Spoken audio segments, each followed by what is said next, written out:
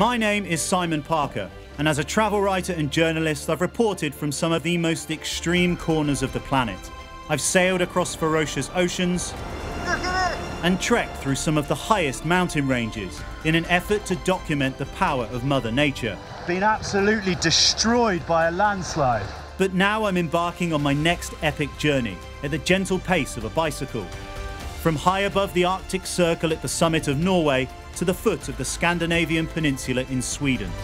Wow. Over the course of my 2,000 mile adventure, I'll be learning about the natural cycles of the region as a green and fertile summer slides into the frozen grips of winter. I'll be searching for seasonal foods and elusive wild animals with the people that call this place their home. I'm passing through at a time of harvest and splendour, and I'm seeing it all on two wheels. This is Earth Cycle.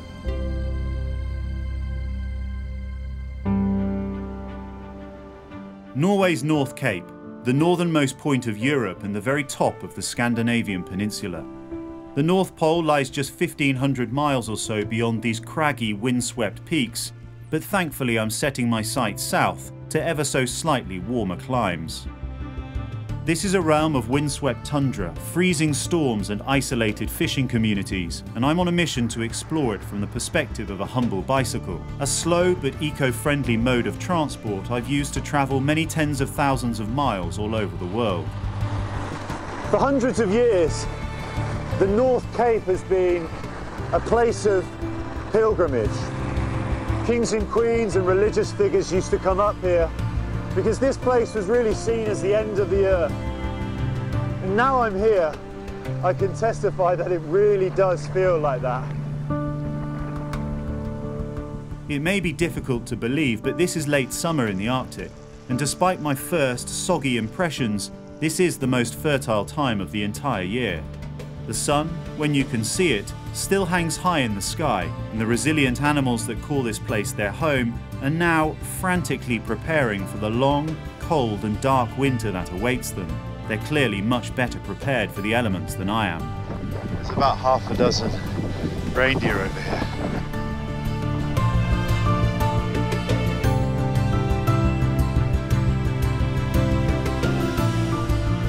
My first few hours in the saddle have really started to hammer home the sort of challenge that lies ahead of me. It's hard to comprehend, but this is still part of Europe, and I'm just a few hours north of densely populated cities like London, Paris, and Berlin. On the first part of my journey, I'll be cycling through Norway's least inhabited county, Finnmark. I'll zigzag through epic fjords and sprawling valleys, and jump between a series of cut-off islands via boats and bridges. Finally, I'll weave my way up and over the lofty Lyngen Alps before descending south into Swedish Lapland. At the very top of Europe, life on land remains inextricably linked with the seasonal toing and froing of the Arctic Ocean. And despite feeling undeniably anxious, I volunteered to help local fisherman Jonathan pull in a particularly ravenous invasive species. Is it too late to mention that I probably have some of the weakest sea legs in the history of sailing? Emily, named after my little daughter. New boat from uh, last year, this time last year, it's a year with me. What are you expecting it to be like out there? Because I'm not the, uh, the steadiest on my feet out at sea.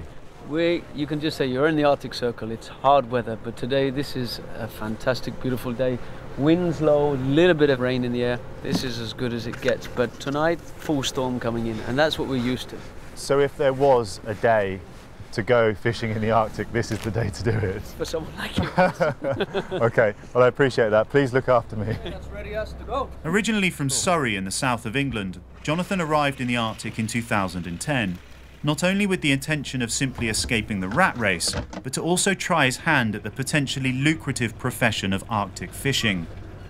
Almost every day, come rain or very occasionally shine, Jonathan leaves the calm safety of Honningsvåg harbour and makes a beeline for the treacherous Arctic Ocean. It's right now, though, at the end of summer, when the weather is often at its best, providing Jonathan with a short but predictable seasonal weather window, like a farmer needing to make hay while the sun shines.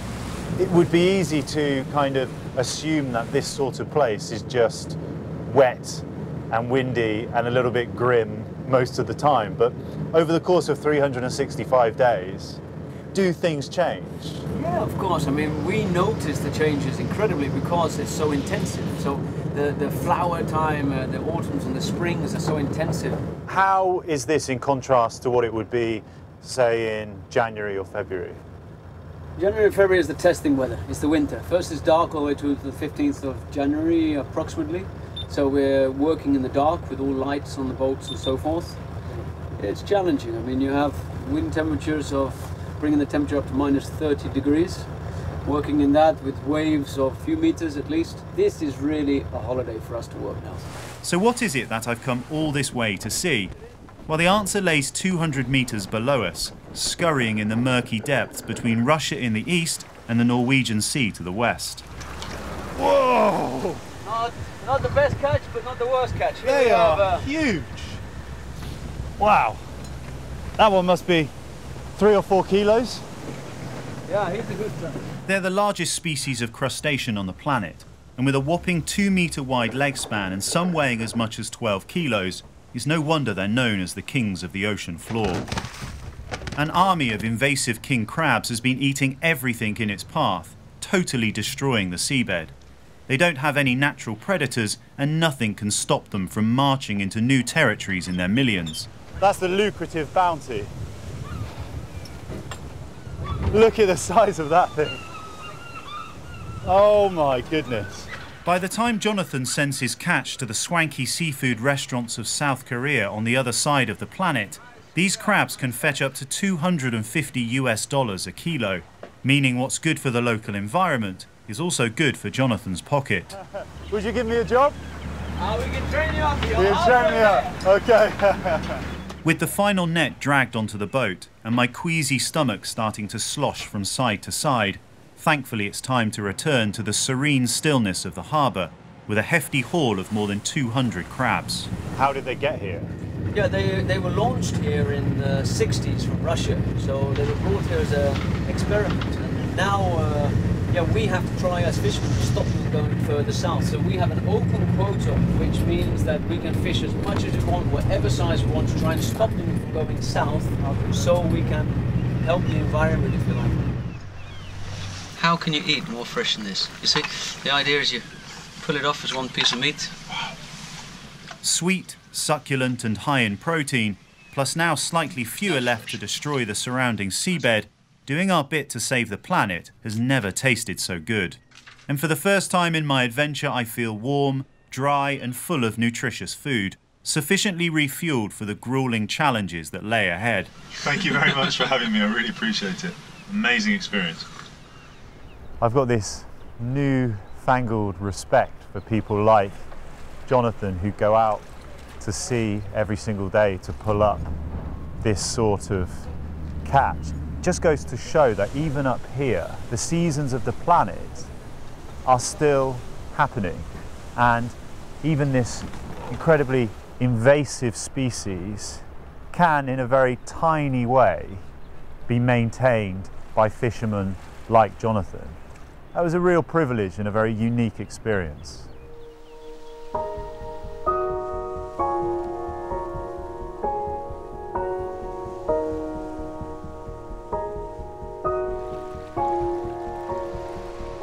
Up here in Finnmark, there's only about 75,000 people that live here. Now to put that into some sort of context, this county is as big area-wise as countries like Scotland and Denmark. But in those countries, there's almost five or six million people living there. And when I'm cycling through here, I get a genuine feeling of how remote and isolated this corner of the planet really is.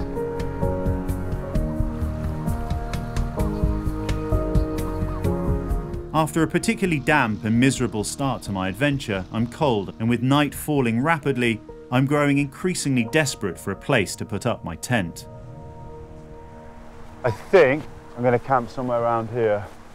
There's this wonderful thing in Scandinavia where, as long as you're respectful, you can pretty much get away with camping anywhere, as long as you clean up after yourself. They call it all man's right to put up your tent anywhere. So that's exactly what I'm going to do. It's pretty epic. Pretty epic. Now how's that for a room with a view?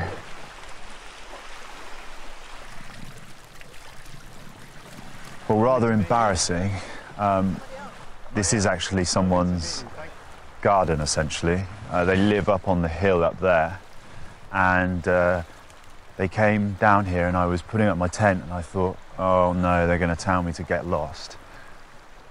But actually, they've been incredibly inviting and said, um, yeah, no worries, put your tent up, make yourself at home. And this is what I've read about the great Scandinavian hospitality. Thank you for letting me Yes. um, hang out in your shed. That's really kind of you. And you've got mosquito repellent. Mosquito, ready for to use. Thank you very much. I really appreciate it. It was lovely to meet you. lovely to meet you. Okay, so it's not haute cuisine and a cosy hotel suite, but compared to a night in a damp one man tent, this is a luxury I'd be a fool to turn down. The next stage of my journey south will see me move increasingly closer to the Arctic Circle. It's here where I'll meet some resourceful locals that are creating alcohol from a seasonal ingredient growing all around them. I'll then pedal on to the border with Sweden, that is, if I can still stand.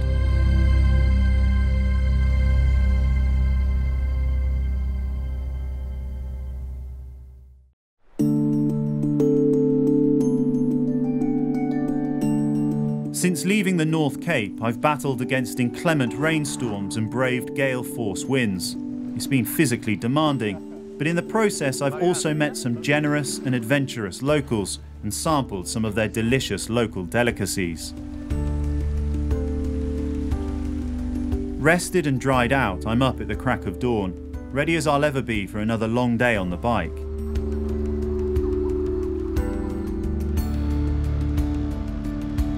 Now, though, I'm cycling through the Lyngen Alps, just 200 miles north of the Arctic Circle. Temperatures here can drop to minus 40 degrees centigrade in winter, but right now at the end of summer, I'm pushing on south in a balmy plus 7. The scenery is undeniably breathtaking, and I'm really trying my best to take it all in and appreciate the views. But just getting over these gruelingly steep mountain passes is proving a hard enough challenge in itself. Yes, nice to meet you too. How far are you going? North Cape, North Cape. From where? Germany.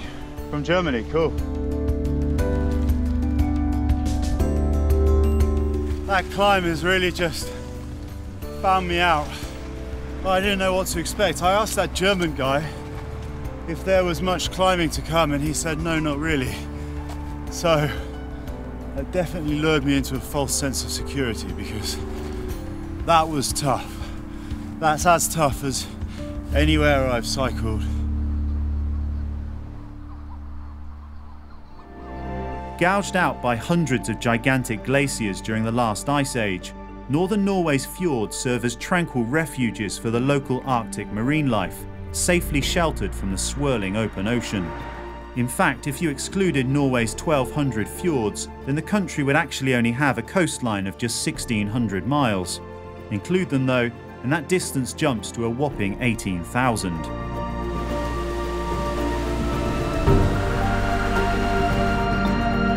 That's just over 100 miles now, and that's the end of an extremely long day.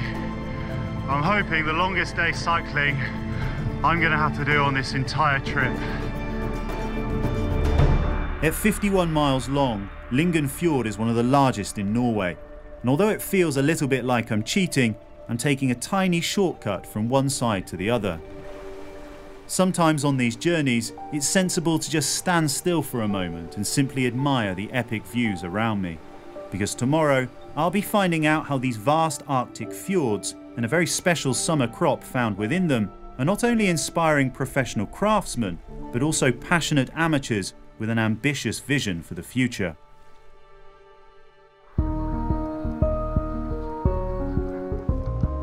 Perched on the rocky banks of Lyngen Fjord, the Aurora distillery, headed by Jarman and Thor, prides itself on using local and seasonal produce.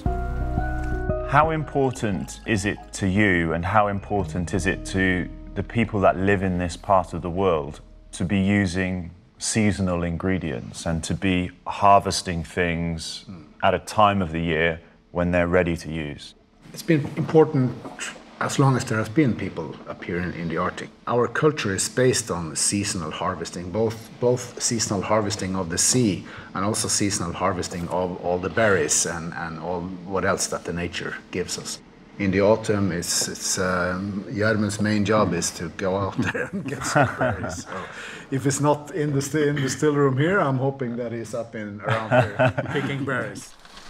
They distribute their spirits all over Europe and usually rely upon foraged berries and grains to flavour their drinks. However, right now, during the brief transition between summer and autumn, the waters surrounding them are packed full of a tender and apparently delicious seaweed that's just ripe for picking. I'm not sure if I'm really a help or a hindrance, but I've been roped in to lend them a hand, and I'm trying my best to keep us both dry. And this is the all important crop which they're using to distill with here high in the Arctic. Once the seaweed's been harvested, it goes through a process of being washed, chopped, and then meticulously weighed, before then encouraged to mix with Jarman's heady raw spirit as it's heated to almost boiling point. What goes in as a crude mixture of slimy seaweed and about 90% unrefined booze starts to drip out as a liquor infused with the subtle taste of the Arctic. So, this is our seaweed alcohol, the first taste, okay? Yeah, definitely. Mm. It has a very distinct taste of the sea. Yeah. And that must be a nice feeling for you as the guy who's made this, that it does actually taste the way you intended. The problem is that in its current state, it's still far too alcoholic for even the hardiest drinkers to try and guzzle down. I confess to liking a drink or two at the end of a hard day's ride, but this stuff is rocket fuel. So you are finding out how strong this alcohol is literally by putting in floats? Yeah, and together with the temperature. This is a precise and exact science by weighing the water and testing the temperature, he's managed to work out that this is actually 68.8% alcohol.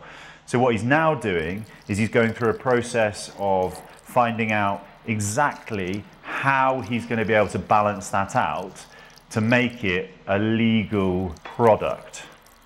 So this is the finished article. Part of this was floating around in the fjords outside, up here, high in the Arctic Circle. After all his hard work, I don't think Yarman's going to let me get away without at least giving the finished product a taste, even if I do have to get back on the bike for the afternoon. So, um, yeah, thank you very much. Cheers. On the nose, and in the mouth, you can really pick up mm. the essence of the sea. You can really pick up the tastes and the smells of the ocean.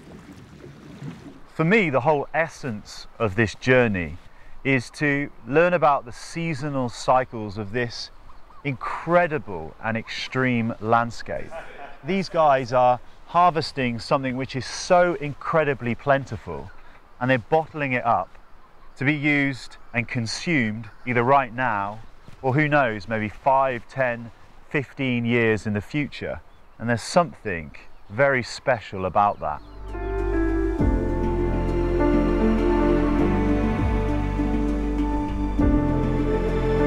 As I cycle south, I'm noticing the roads growing ever so slightly busier.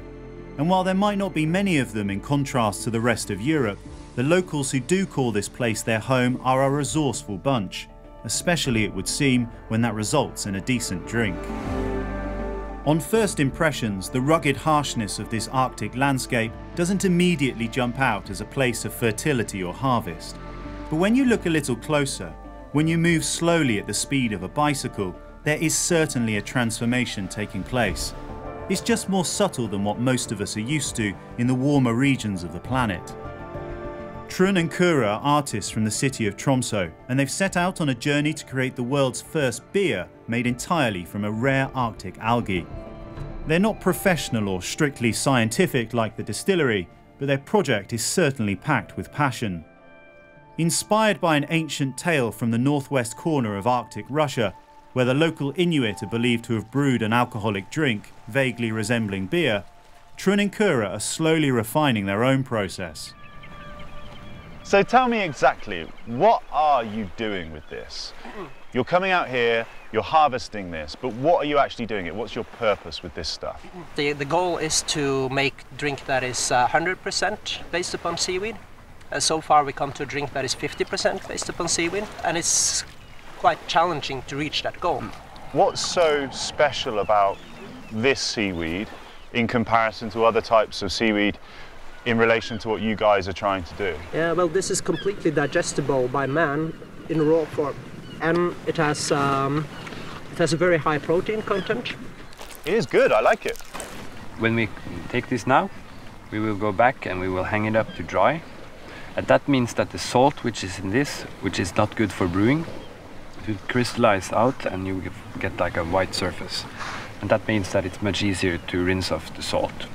They then boil it up with yeast and water before bottling the resulting liquid into pretty much anything they can get their hands on. So this is your pub. I love it. It's really cool, man. Really. So it certainly doesn't look like any beer I've encountered before, and their pub, like them, is eccentric to say the least. But I've got to hand it to them. Their passion for creating something from scratch, with an ingredient growing abundantly around them, is exactly the sort of project that gets me excited. Okay, so I'm going to have a taste. Talk me through what I should be experiencing. No, actually, we don't want to say anything. We don't want to say anything. Okay, it's all Yeah, left up so to I me. Okay, here we go. Here we go. Cheers. Cheers.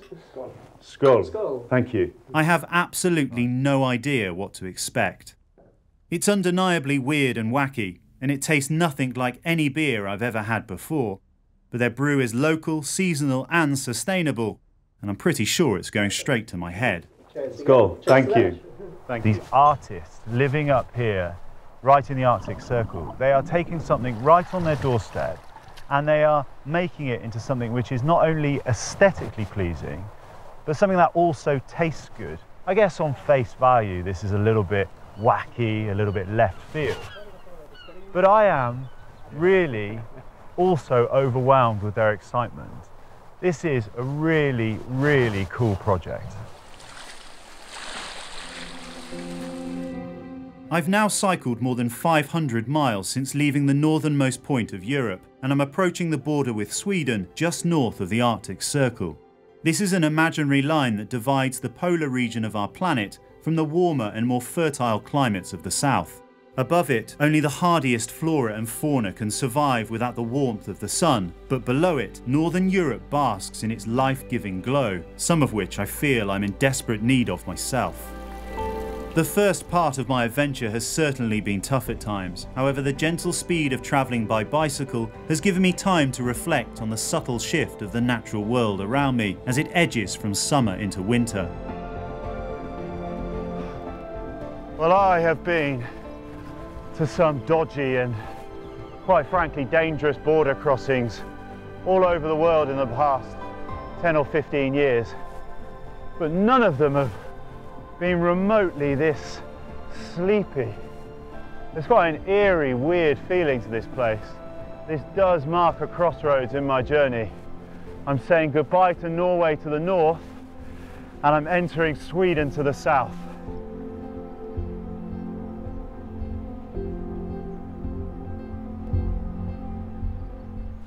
Next time, my adventure enters Sweden, where I'm sampling the sweet tastes of late summer and lying in wait for some of the country's rarely seen large mammals, before heading off in search of one of Earth's most spectacular natural wonders, the Northern Lights.